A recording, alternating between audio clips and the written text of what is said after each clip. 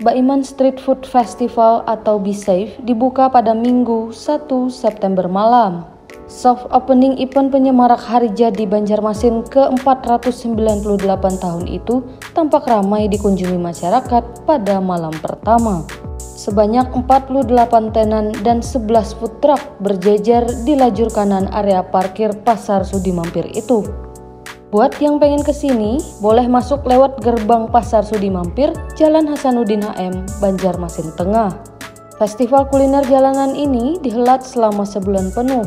Opsi yang tepat untuk menjelajah jajanan Banjarmasin atau sekedar hangout.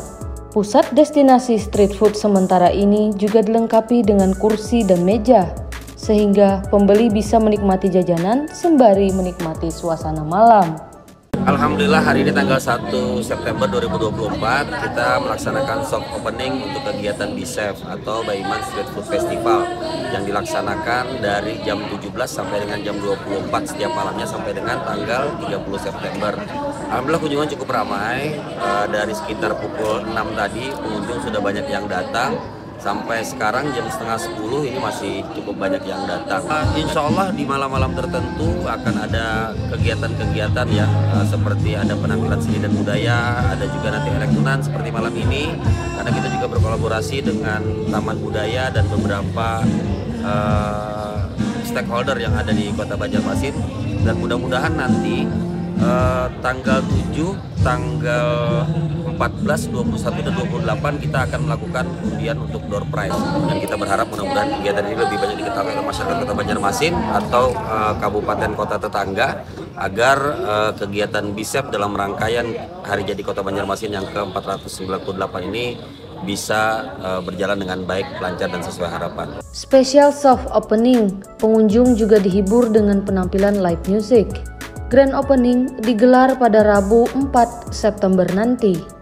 Salah satu pedagang, Fajar, mengapresiasi event ini.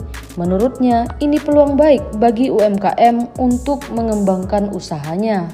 Kalau misalkan dilihat dari segi konsep menarik dan membuka banyak peluang untuk wirausahawan yang lain, apalagi di bidang makanan ya, food and beverage. Jadi menurut saya sangat menarik.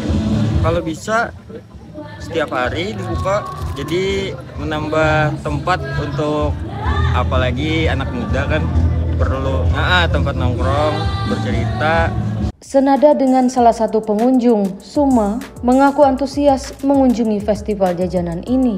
Ia juga berharap festival ini berlangsung hingga seterusnya di luar agenda Hari Jadi Kota Banjarmasin. Iya, uh, menurut aku ini acaranya rame banget dan memajukan UMKM Banjarmasin banget karena um, di sini banyak banget ya UMKM dari ujung sampai ujung itu UMKM semua dan pastinya um, karena ini baru di Banjarmasin memperbanyak tempat tongkrongan karena Banjarmasin juga um, kurang tongkrongan ya. Jadi pastinya pengunjung bakalan banyak ke sini dan pastinya bakalan memajukan UMKM banget sih UMKM Banjarmasin. Cocok banget sih karena Sudi Mampir ini kan adalah kawasan yang lumayan sunyi ya dan luas juga pastinya Terus buat parkirnya juga luas dari ujung ke ujung bisa parkir. Jadi menurut aku pengunjung bakal lebih nyaman sih nongkrong di sini. Oke. Okay. Dan pastinya ada live musik juga bakal menghibur kita juga semuanya.